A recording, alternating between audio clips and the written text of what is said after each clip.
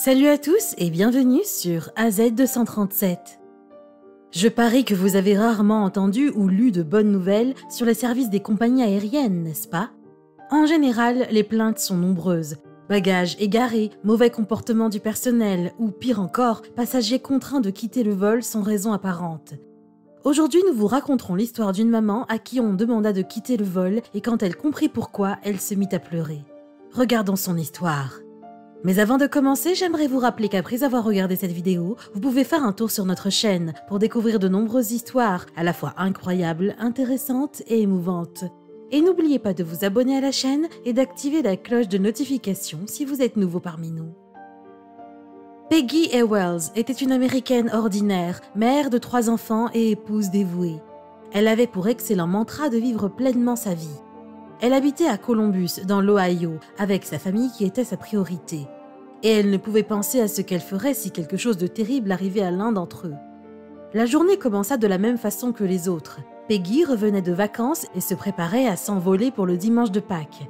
Son mari et ses fils ne l'accompagneraient pas dans ce voyage.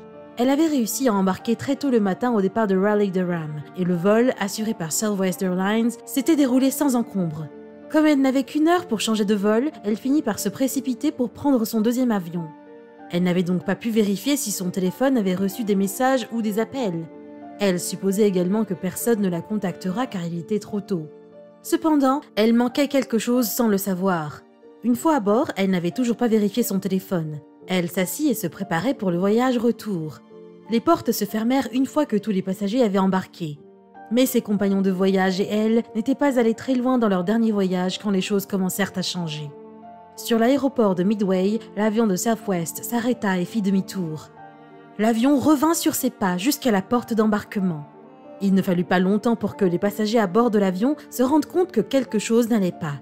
Ils se demandaient ce qui se passait.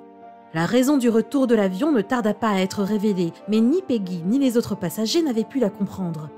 Alors que l'avion s'approchait de la porte d'embarquement, une hôtesse de l'air s'approcha de Peggy pour lui expliquer la situation. L'hôtesse de l'air lui dit calmement qu'elle devait sortir de l'avion et la suivre. Peggy se demandait ce qui se passait et pourquoi elle était la seule à devoir sortir de l'avion. Elle pensa d'abord qu'elle s'était trompée d'avion. Après tout, il était tôt le matin. Elle commença à revenir sur ses pas en suivant l'hôtesse de l'air, essayant de comprendre où elle s'était trompée. Lorsqu'elles étaient déjà à la porte d'embarquement, l'hôtesse de l'air l'informa qu'elle était sur le bon vol, mais qu'elle devait contacter son mari immédiatement. Le cœur de Peggy se souleva d'inquiétude. Sans le savoir, son mari appelait et attendait qu'elle réponde au téléphone pendant ce qui semblait être des heures. Et comme il n'arrivait pas à la joindre, il contacta la compagnie aérienne. Peggy appela immédiatement son mari et apprit finalement que son fils de 24 ans, qui vivait à Denver, dans le Colorado, avait eu un grave accident, souffrait de lésions cérébrales et était dans le coma. Elle commença à se sentir anxieuse. Elle se sentait coincée à Chicago et ne savait pas quoi faire. Sa principale préoccupation était de se rendre à Denver pour voir son fils, mais elle n'avait aucune idée de la façon dont elle allait s'y prendre. Sachant que son fils se trouvait à 1600 km de là, elle ne savait pas quoi faire pour être là. Étonnamment, l'agent d'embarquement l'approcha avec des nouvelles incroyables. Selon lui, tout était arrangé pour elle. Dans deux heures, elle embarquera sur le prochain vol direct disponible pour Denver. Sur ce, elle était soulagée et déconcertée à la fois. Dans ces cas d'échange de vol, il y a certaines politiques et vérifications à faire, et elle était soulagée car elle n'aurait plus à subir ces démarches. En ce qui concernait ses affaires, la compagnie aérienne avait également fait en sorte qu'elle lui soit redirigée pour qu'elle n'ait plus à s'en soucier. Elle était agitée et la compagnie aérienne l'avait constaté. Ils firent tout pour qu'elle se sente à l'aise et en paix, afin qu'elle puisse arriver à Denver en se sentant au moins bien. Le souci du détail et l'intérêt de la compagnie aérienne pour elle étaient vraiment remarquables.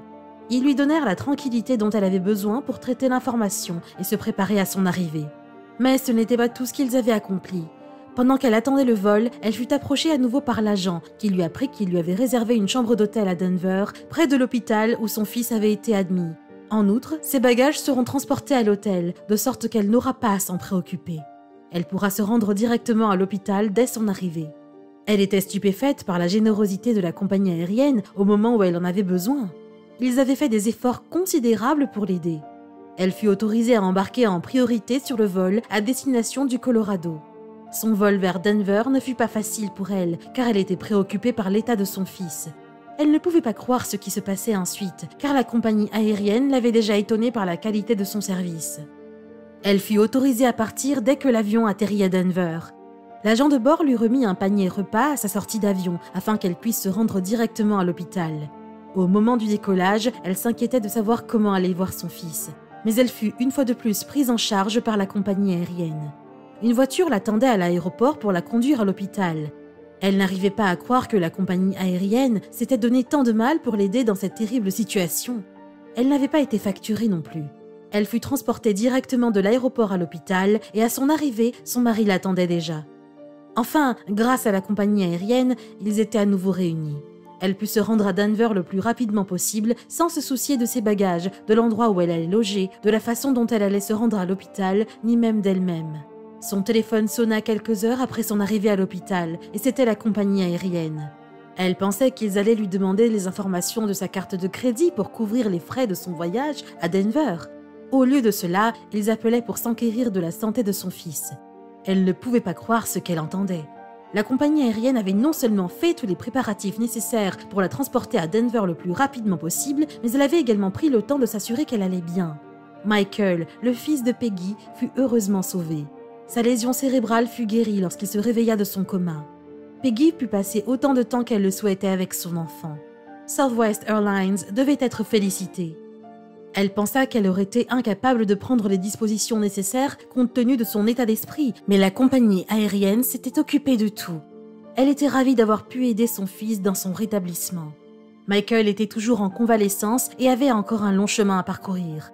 Peggy et sa famille s'engagèrent à l'aider à se rétablir après son traumatisme crânien. Depuis qu'il était sorti du coma, il se trouvait dans l'un des meilleurs centres de rééducation du pays et son état ne cessait de s'améliorer. En revanche, il pouvait marcher, communiquer et vaquer à ses occupations quotidiennes. Il est désormais à l'université. Bien que la vie ne soit plus la même pour lui, il était un athlète qui aimait faire du vélo et du ski. Son rétablissement fut une bénédiction pour la famille. Peggy, cependant, était reconnaissante de cette expérience.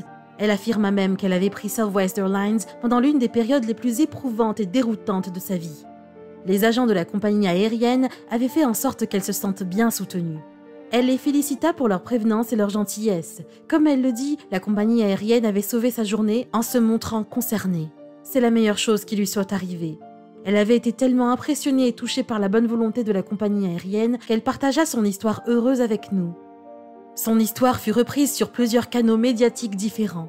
Tous faisaient l'éloge de Southwest Airlines, qui reflétait une culture d'entreprise axée sur le client. Merci à Peggy d'avoir partagé son histoire. Southwest Airlines est considérée comme une entreprise qui a placé la barre très haut en matière de service à la clientèle.